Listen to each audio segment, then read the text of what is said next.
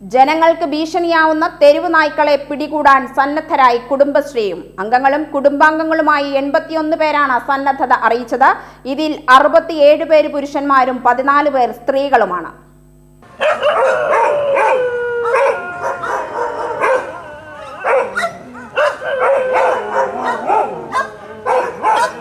സംസ്ഥാന മിഷന്റെ നിർദ്ദേശപ്രകാരമാണ് പഞ്ചായത്തുകളിൽ താൽപ്പര്യമുള്ളവരുടെ പട്ടിക തയ്യാറാക്കിയത്. ജില്ലാതലത്തിൽ സി ഡി എസ് ചെയർപേഴ്സൺമാരുടെ യോഗം ചേർന്ന് ഗുണഭോക്താക്കളെ തിരഞ്ഞെടുക്കാൻ തീരുമാനിച്ചു. തെരുവുനായ്ക്കളെ വന്ധ്യംകരണത്തിനും വാക്സിനേഷനുമാണ് പിടികൂടുന്നത്. സന്നദ്ധതയറിയിച്ചവർക്ക് മൃഗസംരക്ഷണ വകുപ്പ് പരിശീലനം നൽകും. പരിശീലനത്തിന് ശേഷം വാക്സിനേഷനും നൽകിയ ശേഷമായിരിക്കും നായകളെ പിടിക്കാൻ ഇറങ്ങുക.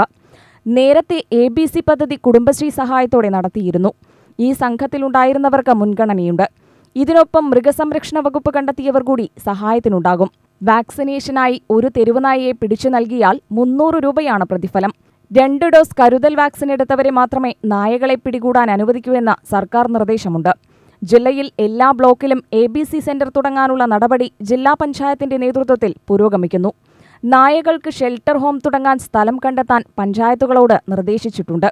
വളർത്തുനായകൾക്ക് വാക്സിനേഷനും ലൈസൻസും നിർബന്ധമാക്കിയിട്ടുണ്ട്. ഇരുന്നൂറ്റി നാൽപ്പത്തിയെട്ട് തെരുവുനായ്ക്കൾക്ക് ഇതുവരെ വാക്സിൻ എടുത്തു.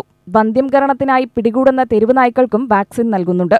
ഇരുപത്തിയൊൻപതിനായിരത്തി എണ്ണൂറ്റി തൊണ്ണൂറ്റിയെട്ട് തെരുവുനായ്ക്കൾ ജില്ലയിലുണ്ടെന്നാണ് കണക്കെങ്കിലും അൻപതിനായിരത്തിലേറെ നായകളുണ്ടെന്നാണ് കരുതുന്നത്. U T V news Palakkad.